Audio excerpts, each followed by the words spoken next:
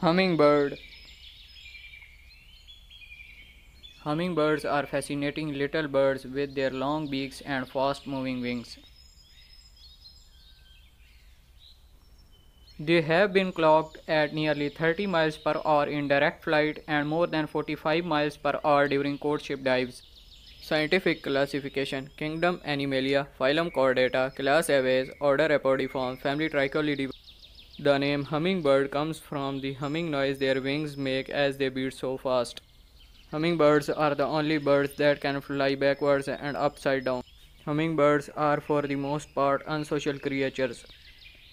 They are the smallest migrating bird. They don't migrate in flocks like other species and they typically travel alone for up to 500 miles at a time. Hummingbirds are also the only vertebrate capable of hovering for a period of time during flight.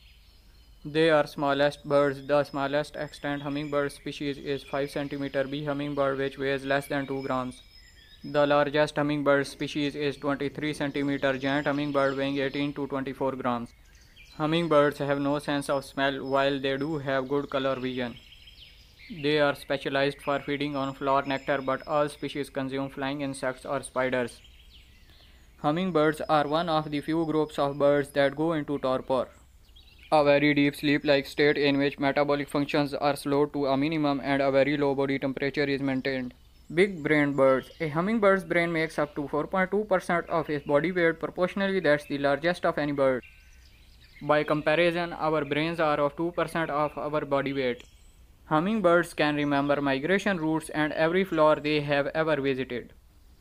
They can also figure out how long to wait between visits so the flowers have time to generate more nectar. They can even recognize humans.